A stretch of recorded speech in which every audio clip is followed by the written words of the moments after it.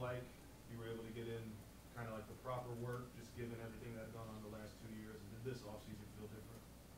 Uh, nah, not really for me. I felt like it was same offseason, just different months, pretty much. But it was a great offseason. Uh, got some great work in, and most importantly, got to uh, kick it with the fam.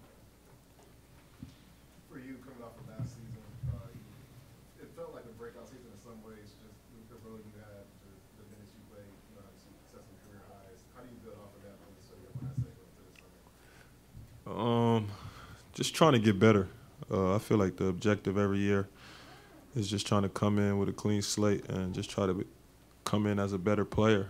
Uh, as simple as it sounds, I mean, it's a lot of hard work that goes into it, but just trying to come in better, uh, trying to come in as a better leader, and just be a better person on and off the court every year. Uh, when you live with those goals and those aspirations, I feel like everything else takes care of itself. You start to feel like a vet? Start. I mean, yeah, I feel like I feel like definitely a veteran on on this team uh, with the the things that I've seen in this league. Um, so just trying to give the young young guys, well, I'm young too. just trying to give my teammates uh, knowledge on uh, different situations and just trying to connect with them as much as possible. And especially our rookies, I I know how tough it is to be a rookie, and I was thankful to have uh, great vets when I came in. So just them being able to lean on me for anything. And when I say anything, I mean anything. Have you and uh, Jaden had any dunk competitions yet, or is that still come? Uh, not yet, not yet. I might give it to him. I might just let him have it. he got them young legs, fresh out of college. I might just let him have it, but he know, he know, he know the real. We talk about um, all the additions the team has over the offseason, but um, what are you looking for in terms of that core group, uh, the internal growth that you're gonna have this season? Uh, I think the biggest thing is just that we're all looking for is just excitement. Uh, just trying to bring excitement back to the city. Um, and it's it's a, it's an objective for us. Uh, we understand uh, what we need to do. We understand where we were, and we understand where we're trying to get to. So every day is just hard work, uh, battling with each other, arguing with each other from top to bottom. I mean, because we're trying to figure it out. Uh, we're trying to do something special. We're trying to be great.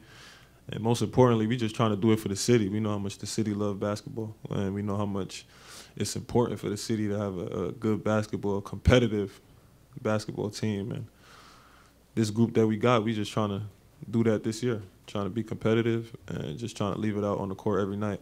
I feel like that's something that we can do. Uh, that doesn't take any talent. I don't feel like that doesn't take making or missing shots. That doesn't take uh, playing great defense. I mean, when you say being competitive and you saying having a team that the city relates to and the city's identity is competing grit and just being a team that doesn't take no no bullshit for real. So just trying to go out there and do that every night and try to do it to the highest standard that we can and just hold ourselves accountable to that. When you, when you got here a couple years ago, it was a roster that wasn't, it wasn't, didn't have a lot of athleticism on it.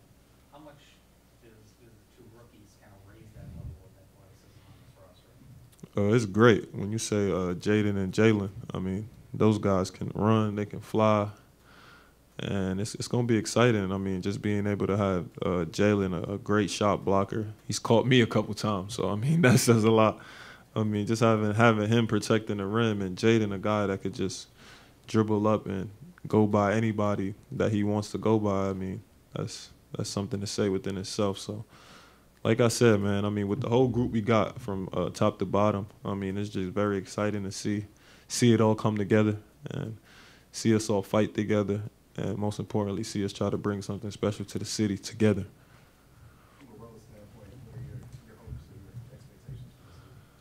Uh, for me, for me, it's simple. Uh, just come in, uh, do what I know I could do, and just let the chips fall where they fall. I mean, like I said, most importantly, it's trying to bring something special to the city. It's not about me. It's not about nobody else. It's all about how we can all do it collectively. So if we all can get on the same page and we all can have the identity that we need to have on the court, I feel like everything else would take care of itself. So for expectations, I, I started off with it when I when I first came in. I said um, I just want to be better than last year. Uh, you said with the career numbers, the career minutes, stuff like that. I mean, none of that stuff really affects me. I feel like I put in the work each and every day. So, whenever, whatever opportunity it is, whatever situation it is, um, I'm prepared for it, and just trying to fight every day for real.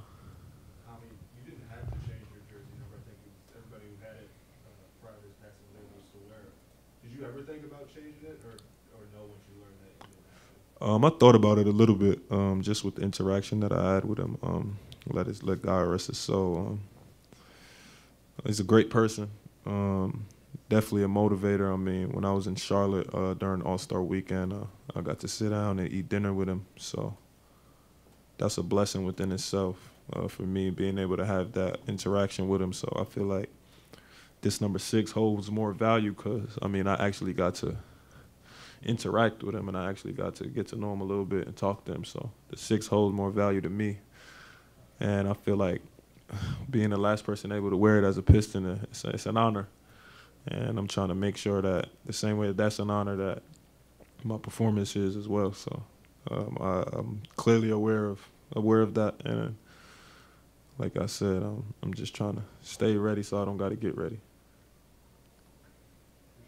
Appreciate you guys.